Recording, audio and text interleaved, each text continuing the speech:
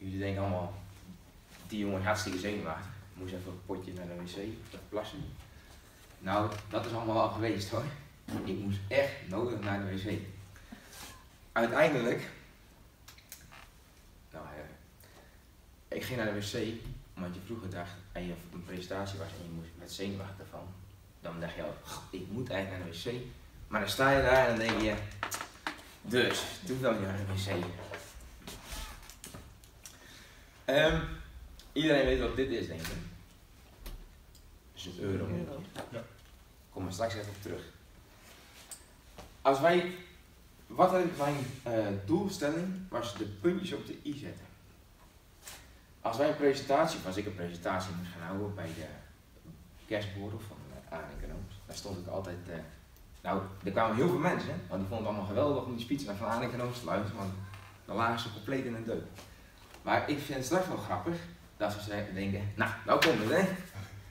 En dat er gewoon een vloeiend verhaal is. En al- die puntjes die ben op de.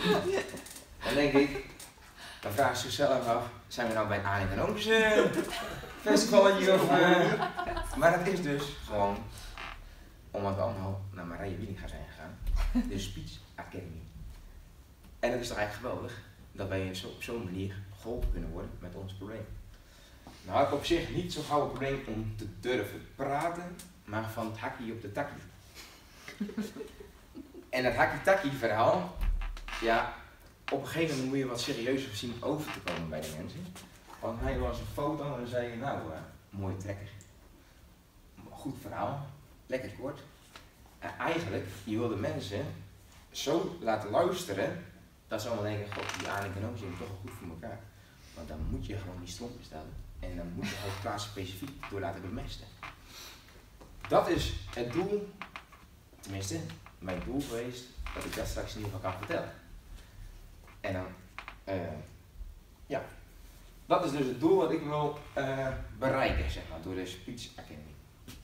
Nou, ehm, ik eh, zei net van,